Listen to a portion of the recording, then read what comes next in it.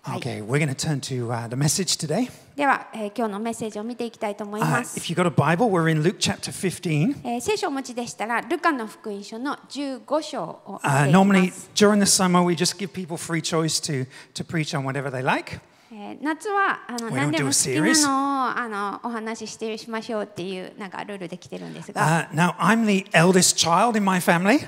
えー私は私の家族の中では長男です。Um, my eldest son is now living in Tokyo, で、私の長男は、えー今東京で一人暮らしをしています。and my eldest son and I, we share some very similar characteristics, unfortunately. それで、えー.長男の私と私の長男は、えーちょっとどこか共通点があのあるんですね。で、まあ残念ながら共通点があるっていう We, ところもあるんです we けど、both have a very strong sense of what is right and what is wrong. えーこれが正しい、これを間違っているっていう、なんかそういう感覚があのすごいあの研ぎ澄まされてるんですね。And as the eldest child, we feel we have the right to straighten out the rest of the family. で、えー長男としてもうこの家族をどうにかするっていうそのあの権利を自分は持っていると思ってるんですね。So, um, our eldest child was always sent to bed way before nine o'clock. えー例えばあの私たちのあの長男はもう9時夜の9時前にはベッドに行って寝るっていうのをずっと長いことしてたんですね。As good young parents, we were very strict about that. であのもう若いあの親としてもうその寝る時間に関してはとっても厳しかったんですね。Then we had twins, で、その後に双子が生まれました。もう、あの、厳しくするにも疲れたみたいな時間の、はい。So, very quickly, for the twins, their bedtime extended to half past nine and then to 10 o'clock. なので双子は、えー寝る時間が9時からあっという間に9時半になってっていうなんかあのそういうことがありました。And my eldest son would get very frustrated. That's not fair. そして長男としてはこれはフェアじゃないと、えーあのなんて言うんだろう、えーイライラするわけですよね。And I felt very conflicted. うんで私自身としてはものすごく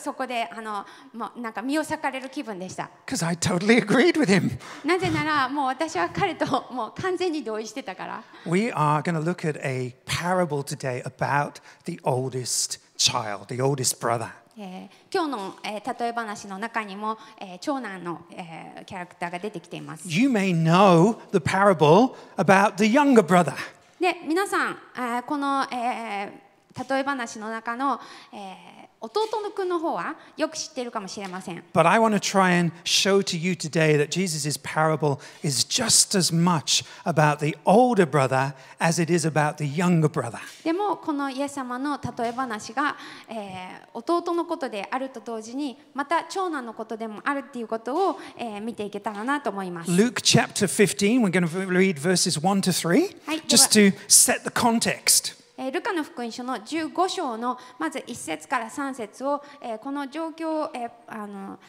えー例え話が語られた状況を把握するためにお読みします。はい、では、えー15章の1節から3節。さて酒税人たちや罪人たちが皆話を話を聞こうとしてイエスの近くにやってきた。するとパリサイ人たち立法学者たちがこの人は罪人たちを受け入れて一緒に食事をしていると文句を言った。So, そこでイエスは彼らにこのような例え話をされた so remember who the audience is. Eh, Remember who Jesus is speaking to. That's important. えー皆さん、えーこれから語られるイエス様の例え話っていうのが、えーどういう聴衆に向けていたのか Now が聞いていたのかっていうことをちょっと覚えていてくだ Now さ we're い going to jump to verse 11, では、えー11節に飛びます and we're going to begin the story, begin the parable はいここから、えー11節から、えー例え to 話が始 13. まります11 to 13. はい、では11節から13節をお読みします。イエスはまたこう話された。ある人に2人の息子がいた。弟の方が父に、お父さん、財産のうち私がいただく分をくださいと言った。それで父は財産を2人に分けてやった。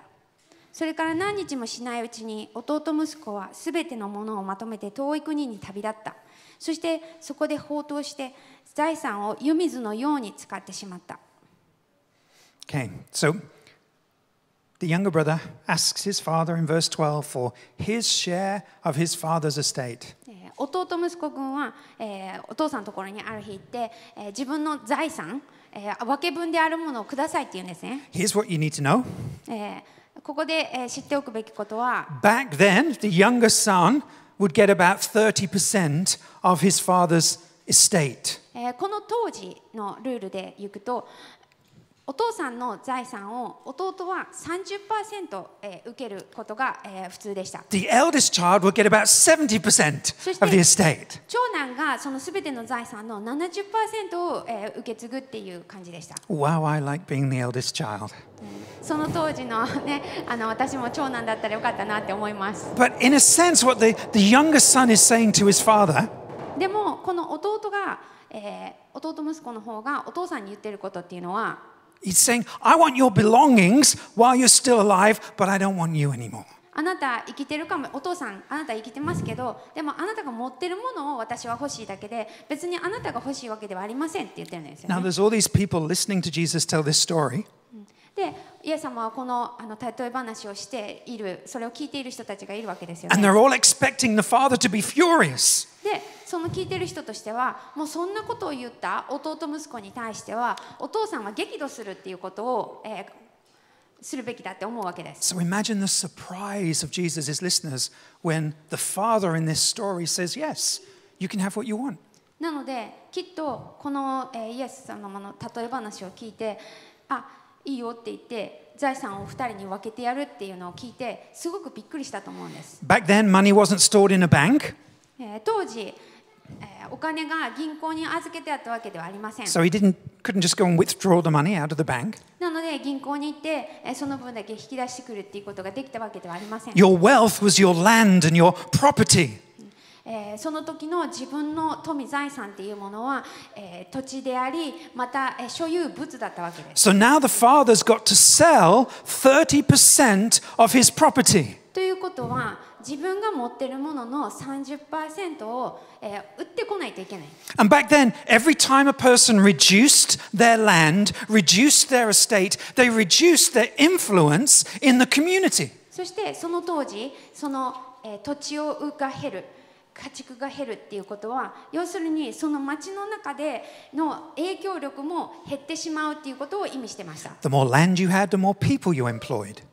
えーその自分が所有している土地が広ければ雇い人も多かったわけです、The more people you employed, the more produce you got to sell. えー雇い人が多ければまた、えー収穫も多く、えーそれを売るものも多かったっていうことです And the more money you made. なので自分の収入も多かったっていう So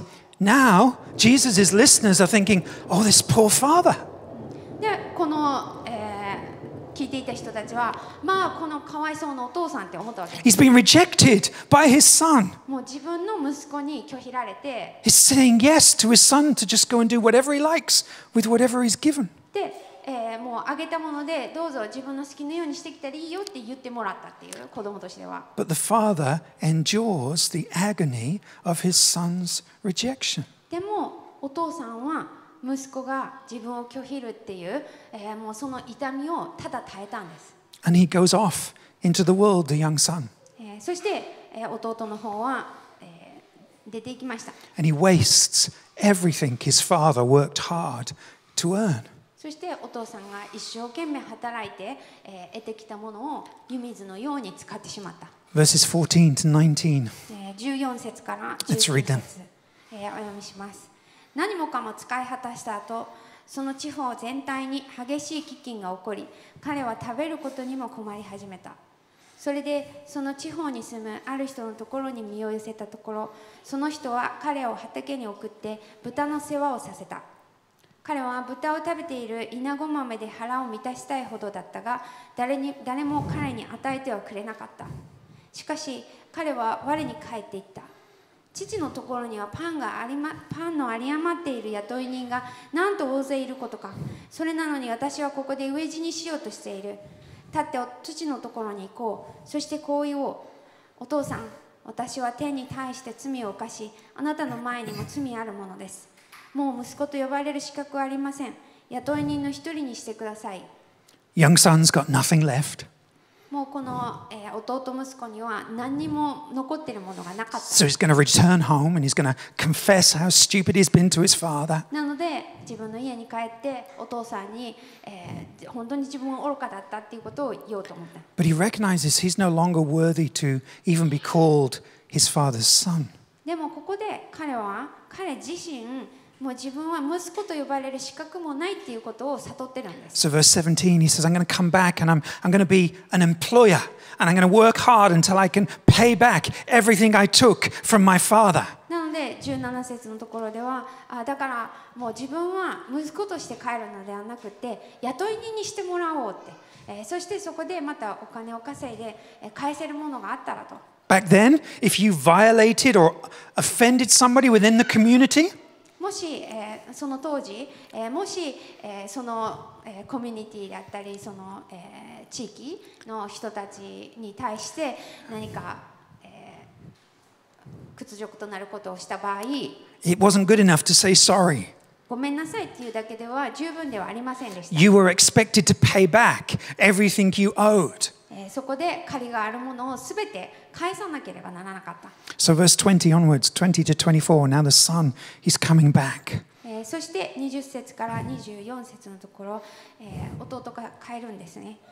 えーお読みしま20す to 24, thank you. こうして彼は立ち上がって自分の父のもとへ向かった。ところがまだ家までは遠かったのに父親は彼を見つけてかわいそうに思い駆け寄って彼の首を抱き口づけした。息子は父に言った。お父さん私は天に対して罪を犯しあなたの前に罪あるものです。もう息子と呼ばれる資格はありません。ところが父親はしもべたちに言った。急いで一番良い衣を持ってきてこの子に着せなさい。自分に指輪をはめ足に履物を履かせなさい。そしてこうやって小石を引いて引いてきてほふりなさい。24ね、Yeah. うん。えーほふりなさい。食べて祝おうこの息子は死んでいたのに生き返りいなくなっていたのに見つかったのだからこうして彼らは祝宴を始めた。So, verse 20, the father sees his son in the distance.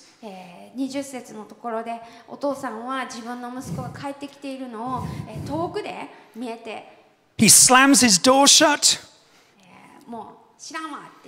says I, says I never want to see that stupid child again.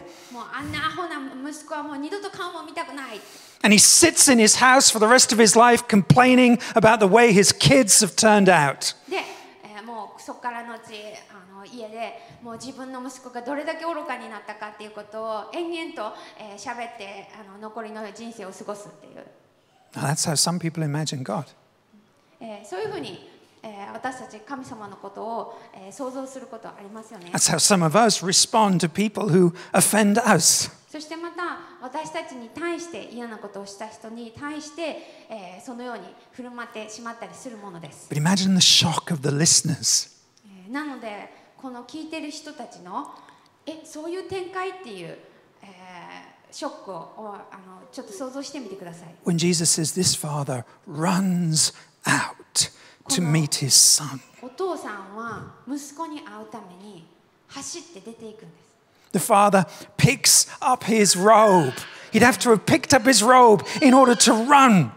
えーそしてその当時お父さんあお父さんっていうか男の人もこう長い衣を着ていたので、えーそれをきっとまくし上げて走っていかないといけなかった。No, kids run, fathers don't run. 子供が走っても男お父さんが走るっていうことはないんです、He would have had to have uh, abandoned his pride. えーもう本当に自分のプライドなんて置いといてもうそっちのけで子供に向向かって走っていったんです And he doesn't hold back his feelings, he grabs his son. そしてそこでお父さんもまた自分の感情をなんていうんだろう見せないようにしようっていうんではなくってもう、えっと抱きついて And as he's hugging his son, his son is busy trying to apologize, trying to repent. でもうお父さんが、えーそうやってハグして迎え入れて抱きついてってしてる間もうあの息子としては謝らなきゃ謝らなきゃって思ってるわけで But す before his son can even finish apologizing, でもこの息子が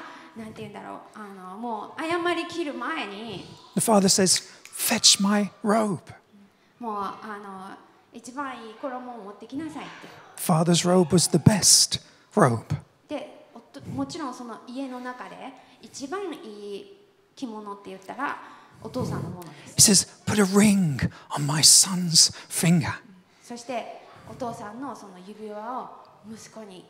あげるって Back then, your ring was the seal, it was your hanko. It gave you access to the bank account. その当時の指輪っていうのは今の私たちの印鑑と同じです。あの ハンコって言ったけど、まあ、印鑑っていうか あの要するに.銀行とか Ah, もういろんなところにこうなんて言うんだろう法的なんていうあの権威を持つもの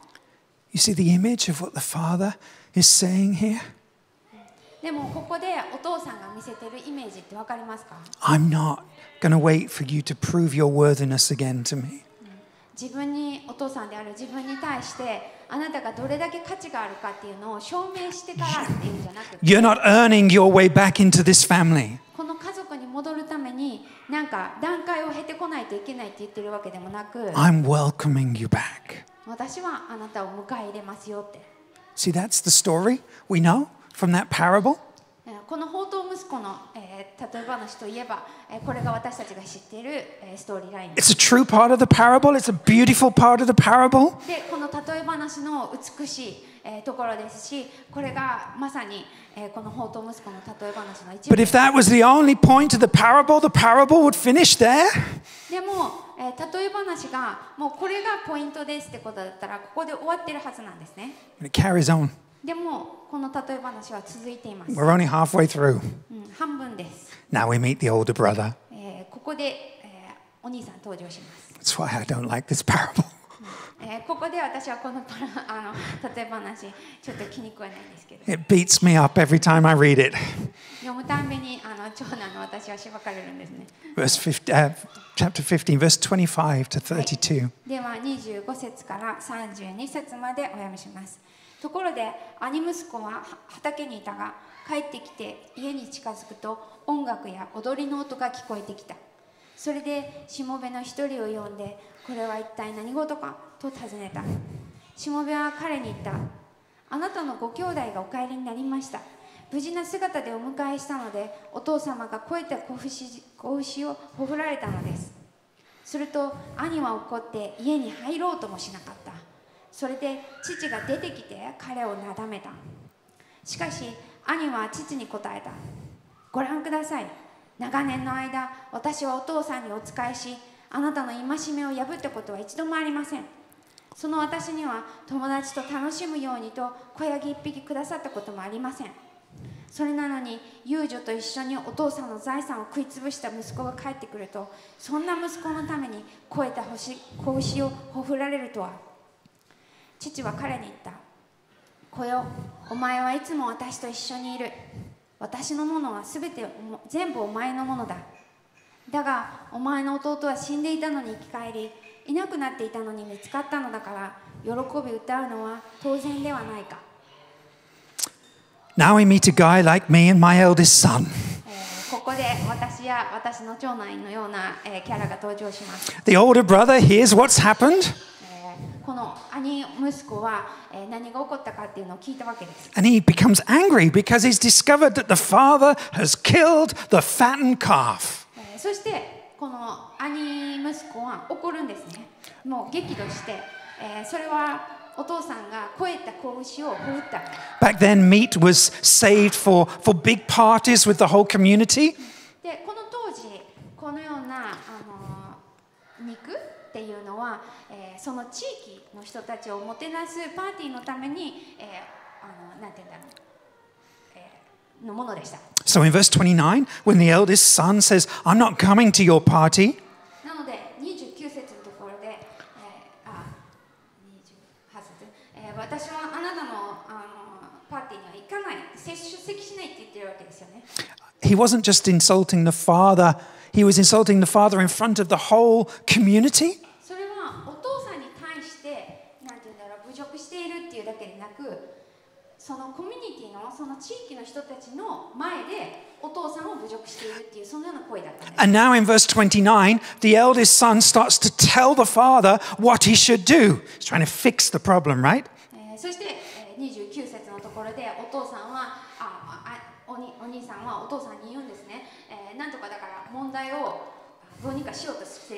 Verse 29 Look you! Okay, the original there is insulting, it's not friendly. Look you!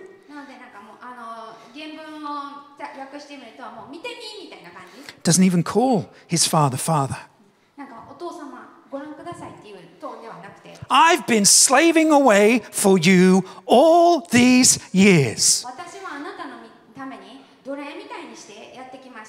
and, and I've never disobeyed you. See, I'm really good at this bit. You can tell it's in my DNA.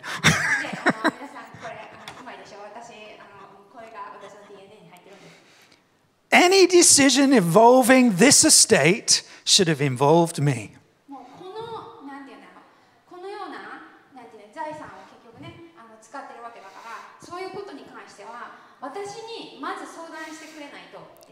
I've earned the right to decide who does and doesn't get blessed. I've been the good boy. I deserve to get the fattened calf.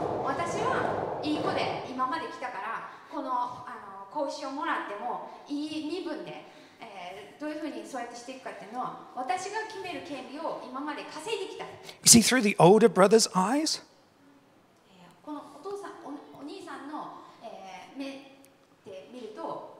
This is all very unfair. 本当これ全くフェアじゃないっていう状況なんです But again, think about the listeners. How's the father going to respond? That's what they're all waiting. Come on, this child, he deserves a good slap. で皆さんあの誰が聞いてたかそのえこの例え話を聞いてた人たちのことをちょっとえ想像してみてください。聞きながらもうこんなお兄さんちょっとなんか一発パーンいかないかんやろうって思ってたかもしれない。Imagine their surprise in verse 31. で31節のところの言葉に来た時の、えー聞いてた人たちのショックを、えーまた、えー思い浮かべてみてください、When the father responds tenderly, えー彼に優しく言ってるわけです My son. 子よって私の息子よって Son couldn't even be bothered to call him father. 息子はお父さんなんても呼んでもなくってもう見てみみたいな感じだったのに But the father highlights the relationship. My son. でもお父さんは息子に私の息子よって言ってそこの自分との関係性を見せてくれてるんです You're always with me. もういつもいつも一緒にいてやん And everything I have is yours. で私が持ってるものは全部あなたのものだよって Why is Jesus telling this story? イエス様は何でこの話をしてたんでしょうか、Partly because he wants his listeners to understand who God really is. えーこの聞いてる人たちに神様っていうのがどういう方かっていうのをもっと分かってほしいって思ってこの話をしたのもあります And when you and I fall short of God's glory, we tend to slip into a different image of God, not the image that Jesus has just betrayed in this parable. えー私たち、えーだんだんだんだんこうあ神様の栄光には達して足りないっていう、えーそういう愚かな、えー自分になった時に、えー神様のイメージっていうものも本当の神様っていうものから、えーちょっと、えー変わっていってしまうことがよくあります。But I think Jesus is also trying to challenge our view of sin. なので本当のかその神様がどういう方かっていうのを見せたかったっていうこととあと、えーその罪っていうものの本質を、えーイエス様は見せたかったっていうのもあると思いま we す。get the younger brother's story because we understand his sin. えー私たちこの弟の、えー部分すごく理解できます。なぜならこの弟の罪がわかるから。Gambling, prostitutes, self indulgence. Oh, yeah, that's wrong. えーギャンブルして女にお金使って、えーそしてもう自分のなんて言うんだろうあのいいいことのためにもう湯水のようにお金を使うはいそれ悪いことねって、You know, the younger brother, he's a bad boy. The older brother, he's a good boy. うんあのこの弟くん非常に悪い子ですお兄さん非常にいい人ですって But Jesus is trying to show us that both brothers are equally lost. でもイエス様が見せようとしていたのは弟もそしてまた兄も同じように 迷子になってしまってたんです。 Both brothers, both brothers actually want the father's things and not the father. おとお兄さんもまたお父さんのものは欲しいけどお父さんが欲しいわけではないっていう The older brother's lost because of his goodness. The older brother both brothers are both brothers want the father's things but not the father. ごめん、えーお兄さんも弟も、えーお父さんのものは欲しいけどお父さん自身を求めているわけではないっていう状態、えーそして、うん、The older brother's lost because of his goodness. そしてお兄さんは迷子になってしまってたのは自分自身の良い行いにもう迷子になってしまって I'm た。not going to the party. I'm not celebrating, he says in verse 28, because I have never disobeyed you. 29節のところであの長年の間こうやって仕えてきたよとそして戒めを破ったこともないって I've earned all these blessings from you, this inheritance, this fattened calf. 私はあなたからの祝福をこうやって得たんですと。My で younger この brother hasn't earned these things. この子牛をほふられる権利を私は自分で得たんですと。だけど弟はそんなことは一切何もしてません。Okay, back to where we first started, the beginning of this chapter. Who is the audience? Who is Jesus telling this story to? えー一番最初の、えーに読んだあの箇所のところで、えーこのイエス・キリストは誰に向かって話をしてたんでしょうかこの話を。tax collectors and sinners. えー一節のところで、一つ目のグループは酒税人たちや罪人たちって呼ばれる人たち。そしてもう一つあ片方のグループはパリサイ人たちそして立法学者たち、Okay, who's who in the story? えー皆さん、えーだ誰がこのおあ例え話の中の誰に投影されていたか分かりますか、The younger brother is the tax collectors and the sinners. えー弟がこの、えーこの、えー、法と息子の弟が酒税人たちや罪人たちで、The older brother is the Pharisee and the teachers of the law. えー長男たちがパリサイ人たちであり、えー立法学者の人たちです。Sinners run off and abandon the law. えー罪人たちってあーここで出てきている、えーもう罪人たちっていうのはもうその立法っていうのを丸投げして、えーもう自分の好き勝手生きる、Pharisees keep the law and feel good about themselves. えーパリサイ人たちは、えー立法や戒めを守って、えーそれによって自分はいいって思ってる、Okay, these are the two ways we typically try to make sense of our lives. で私たちは典型的にこのどちらかで、えー自分たちの、えーことをなんて言うんだろうカテゴリーにはめははまると思います。You know, the first one, life is about me deciding for myself what is right for me.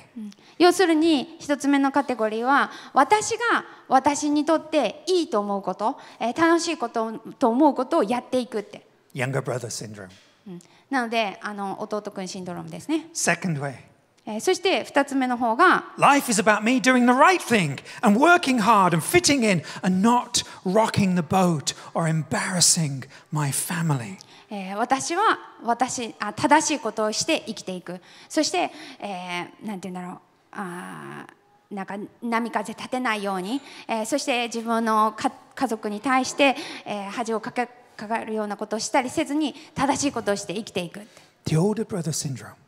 それが、えーお兄さんシンドローム Now, let me ask you if you had to put Japanese culture into one of those categories, is it the younger brother syndrome or is it the older brother syndrome? えーえー皆さんにお聞きしますねあのもし日本の文化をさっきの1か2かに、えー分ける入れるとしたらどっちだと思いますかお兄さんの方か弟さんの方か Because this is why culture matters. で私たちのやっぱ生きてる文化っていうのは大事です Because the culture I grew up in is very much younger brother. Go live your life and do whatever pleases you. なぜなら、えーこの弟の方のカテゴリーに入る文化で私は育ってきましたはい、あなたが思うこといいと思うあなたがにとっていいと思うことやっていきなさい自由です And my struggle when I got married to a Japanese person was that their cultural boundaries were very different. でも日本人のお嫁さんと結婚して、うん、あの大好きだけどって、うんでもなんかこういろんなところであのなんて言うんだろう境界線が違っているっていうことにあの驚きました。Fit in. Don't rock the boat. Be a good boy. あのちゃんともうなんて言うんだろう郷にいれば郷に従え えーあのうんあのなんかいろいろ波風立てるなんて、うん、もうあの、Be a good boy. うん、あのいい人でいなさいっていう。Now you know how Ataka speaks to me. うん、あの歌子がどういうふうにあの日常生活し We, てる we, かっていうのが we 分かると思います divide the world into good boys and bad boys. でも私たちどこかであこれはなんかいい人カテゴリー悪い人カテゴリーっていうのに入れて、えー人を見てると思い The ます。good people are inside the circle, the bad people are outside of the circle. いい人たちっていうのは自分のサイクルサークルに入れて、えー悪い人たちっていうのはここに自分の輪には入れないっていう And how horrible it is to be in the outside of the circle. And so we all feel for the younger brother. でそのなんていうんだ輪に入れてない自分っていうのを私たち少なからず経験したことがあるからだからこの弟の気持ちっていうのがな分かるんです。Whilst we stand inside the circle with the older brother, wrongly thinking we are safe. そしてその輪の中に入っている時っていうのはお兄さんの時みたいにそこに入ってるから自分は大丈夫ってなぜか思ってしまう。弟は、弟は自分で。弟は自分で自分の神になっちゃった。お兄さんは、お兄さんは神様をどうにかマスターしようとした、どうにか支配,支配しようとした、どうにか自分のなるようにっていうふうに、えー、お父さんをえーマスターしようとしたんですね。Both are lost. だから2人とも同じように迷ってるんです。Neither of them are living as the church is called to live. もう迷い出てしまって2人ともがこの、えー教会がこういうふうに生きていきましょうって進めているようには生きていないんです。Yes, we're called to obey God, えーもちろん私たち神様に従うようにっていうふうに招かれてます。But we obey in order to, to delight in God, to get more of God. でも私たちが従うのは神様を喜ぶからでありもっともっと神様が欲しいって思うからです We don't obey in order to get something from God, in order to get blessed. 神様から何かを得るためにもしくは祝福されるために神様に従うんではありません、The older brother's angry because the father's welcomed back a sinner. えーお兄さんは怒っもう本当怒り狂ってたわけですよねこの弟罪人帰ってきた And I get his anger. で私もその怒りが分かります It threatens me. 私に脅威を与えるものです It threatens me because if he isn't obeying and gets blessed, あの人が従ってないのに祝福を受けるのであれば and I am obeying and get the same blessing, 私従ってますで同じ祝福しかいただけませんって思ったら why bother obeying? なんで従うんやろうって Why bother sacrificing? Why bother serving in church? なんで犠牲を払ってなんで神様にとか教会に使えるんだろうって Why bother being a pastor? なんで牧師なんかするんやろうって Why bother going through the hassle of training my kids in the way they should go? そしてな主の道に歩むようにってなんで自分の息子をそうやってふうに育てないといけないんだろうって I hate that parable where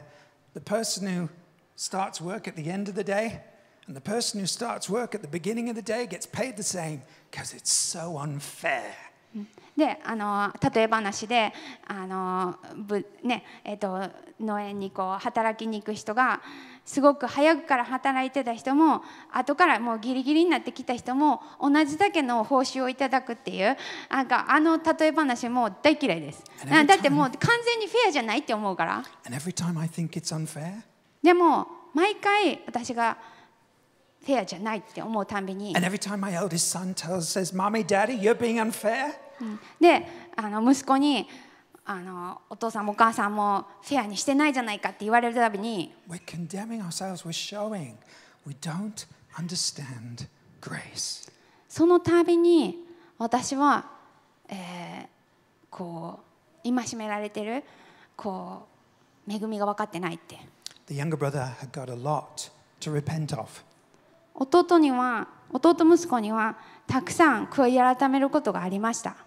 The older brother didn't think he had a lot to repent of. 兄息子は自分には悔い改めることがないと思ってました When the Pharisees sinned, they repented just like everyone else. パリサイ人たちも悔い改めっていうのを他の人と同じようにしてました、On the outside, they looked like good Christians. えー表面的にはとてもいいクリスチャンに見えた Now, the 人たち Bible です says wolves come in sheep's clothing. They look just like everybody else. えー、狼は羊の格好をしてくるっていうのも聖書にも書いてます.えー見た目には、えー他の人がしてるのと同じことをしてるんです But once the Pharisees stopped repenting, they went back to trusting in their own righteousness, in their own obedience and sacrifice. でもパリサイ人が悔い改めっていうのははいやり終わりましたっていう時その時はまた自分の業績自分の良い行い、えー、自分の、えー、なんて言うんだろう振る舞いっていうのに、えー、自分の義を正しさを見出していたんです。その人生に戻っていきました。そして、えー、クリスチャンの人たちが悔い改めるとき、え、その悔い改め、また他の人がしているような、えー、悔い改め、同じようにします。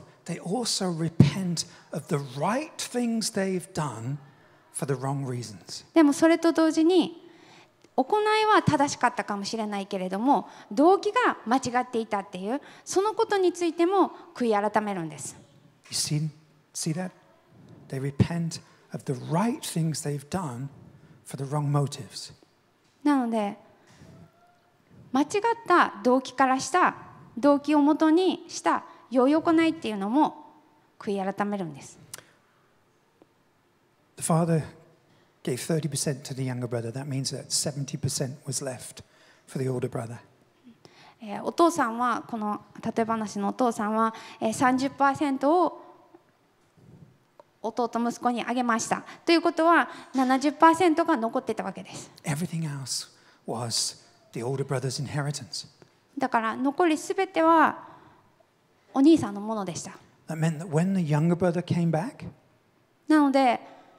弟が帰ってきた時に that calf that was killed, この、えー太った子羊子牛っていうのをあのほふった、that was part of the older brother's inheritance. それはおお兄さんが将来受けるその財産でした。You've used my inheritance to bless a sinner. 自分私のひあのいただくべき財産っていうのを相続財産っていうものをこの戻ってきた罪人のために使ったなって It's not fair. フェアじゃないって See, the younger brother's redemption, his, his welcome back into the family, it was costly. It cost something. この弟が帰ってきたっていうことそれ自体にたくさんの他の人にかかったコストがあったんです A true older brother would have seen his father's agony in being separated from his youngest child. この兄息子が本当に心から兄息子であれば、えー真の兄息子であれば息子が出て弟が出ていた時に苦しんでいる、えー傷んでいるお父さんのことを見ていたはずです。A 見て true, a true older brother would have gone in search of his lost younger brother in order to bring him safely back into the family. えーどうにかして弟を探しに行かないとって言って探しに出て行ったはずです。 But this older brother was too busy doing good. でもこのお兄さんは自分がいいことをするっていうことに And the 懸命にな real ってました。 reason why he was doing good was not to delight in his father, but to get from his father. そしてこのお兄さんが一生懸命従っていたのはお父さんのことを喜んでいたからではなくって、えーお父さんから自分もその何かを得たいと思っていたからです。Folks, we can all do the same thing in church, but for very different motives. えー私たちもここにいる私たちも、えーまた同じようにこの教会の中で、えーいろんなこと同じようなことができます。When we serve in church, when we do something for God, the real question is why are we doing what we do? いろいろお互いに使い合って、えーしていく中ででも本当に私たちはそれをなぜしているでしょうか Jesus is the true older brother.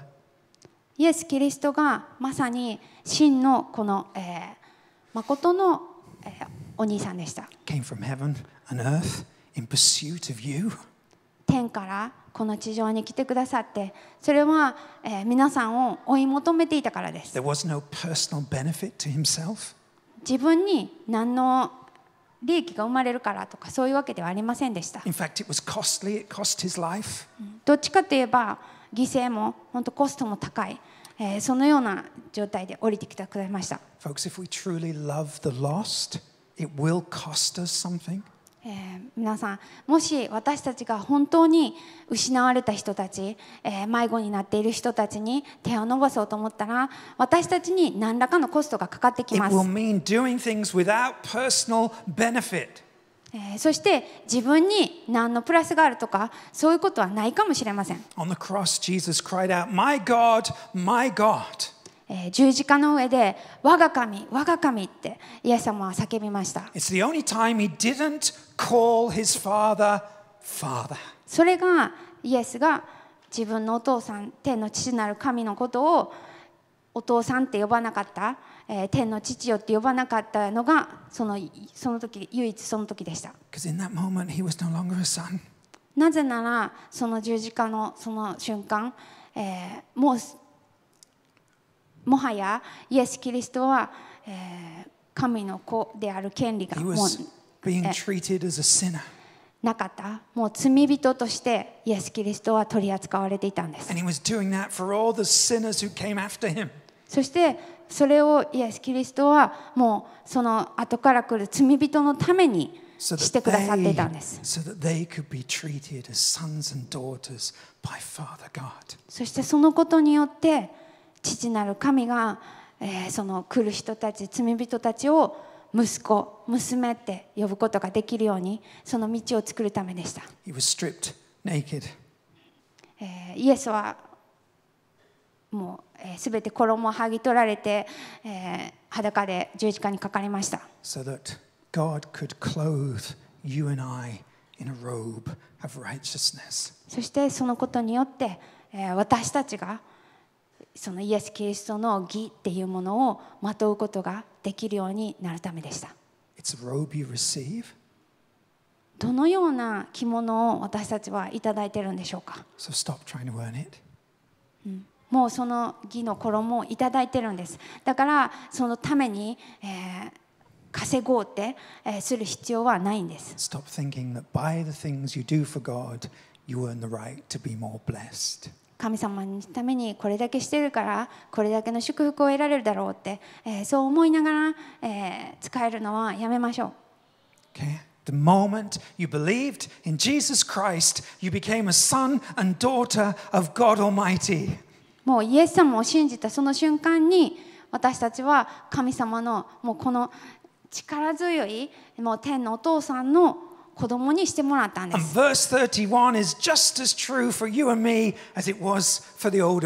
そしてこの31節は、えー、このお兄さんだけにとって、えー、真理っていうわけじゃなくて私たちにとっても本当です。お前はいつも私と一緒にいるって。そう私のものは全部あなたのものだって。はい、ではあのワーシップバンド戻ってきてください。I'm going to give you a moment just to, uh, to think and reflect on today's message. えー今日のメッセージ、えーちょっと考えて思い巡らす時間っていうのを、えーも持ちたいと思います。Because we're going to move into communion this morning. えー今朝、えー生産式を、えーすることになっています。And scripture says that as we come to the communion table, we should examine ourselves, examine our hearts. 生産式の場に来る時に私たちは自分たちの心を吟味するようにって言われています。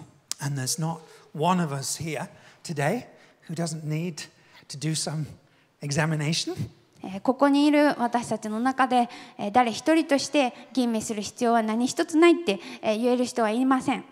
But we have that freedom, that. Already given to us to, to keep us safe, to keep us secure in doing that. えー私たちそうやって自分の心を見て、えー自分の心を吟味してっていうことができるのも、えーもう本当に恵みをいただいているからもうその安全が保証されているからだからこそ私たちは自分の心と向き合うことができ So ます。repentance 悔い改めっていうのはネガティブなことではなくて、え本当あの喜びのことです。God, I grieve over the fact that I have offended you in some way. えー、本当にこう神様に対して、えー神様を傷つけるようなことを悲しませるようなことを何かしてしまったっていうことを。we can start again. I can come back to you and we can go forward 悔い改 together. めてそして、えーまた神様と共に、えー歩んでいける、えー前に向かっていけるっていう、えーその喜びでまた満たされることができます。 And that's the same with the, the bread and the wine. なので、えーこの、えーパンとブドウ酒にしても同じです。 Blood was shed, a body was broken. It was costly in order to restore our relationship with God.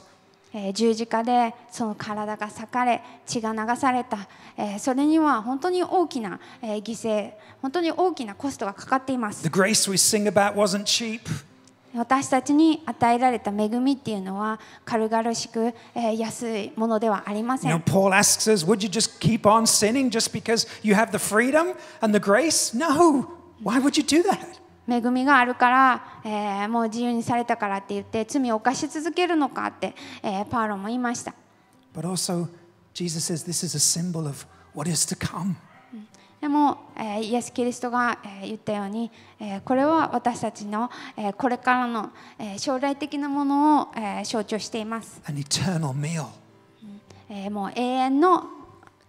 晩餐が待っている。Where we won't just be symbolizing it with, with grape juice and crackers. なんかあのグレープジュースとこの、えークラッカーでなんて言うんだろうこの象徴みたいななんて言うんだろうそういう次元を超えて but we'll be sat in the presence of God Himself, fully welcomed, fully accepted. 神様の見前に、えー共に、えー受け入れられたものとして by His glory, もう神様のその栄光っていうものに囲まれて His hand wiping the tears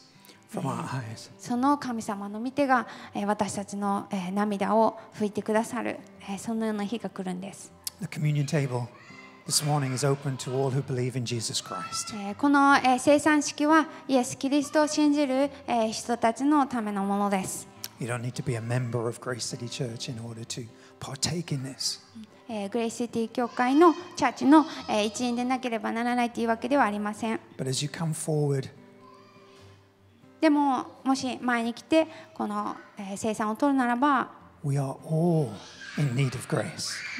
えー私たちみんな恵みを必要としているものなんです。Therefore, what we enjoy personally with God, we should spread and give and pour out amongst the body. なので神様から受けたものっていうものを私たちは、えーえーこの人との関係の中でも表していくべきです。Father, we thank you for speaking us to us today through your word. 天のお父様あなたの言葉を通して私たちに、えー語りかけてくださってありがとうございます。 Father, forgive us when we try to use our good deeds to, to earn and to get things from you. えー私たちが、えー自分の良い行いを通して神様あなたから何かを得ようとしたり、えーしてしまう時があります許してください、Lord, we ask that you continue to expand our understanding of grace. えーどうか私たちに、えーあなたの恵みっていうものがいかなるものかを、えー教えてください How deep and how wide your love truly is. 本当にあなたの愛がどれだけ広くどれだけ深いものかを、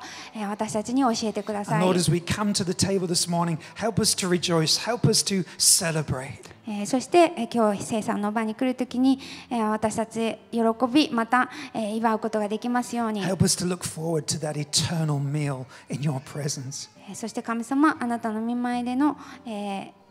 本当永遠における、えー神様あなたとの晩餐を楽しみにすることができますように In the name of Jesus Christ. イエス・キリストの皆によってお祈りします。アーメン